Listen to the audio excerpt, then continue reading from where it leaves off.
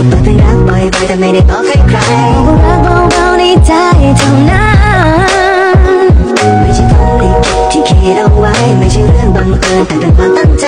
ก็อยากให้เธอเข้าใจสักครั้ง เธอคงยังไม่รู้ ว่ามีหนึ่งคนแอบรักเธอ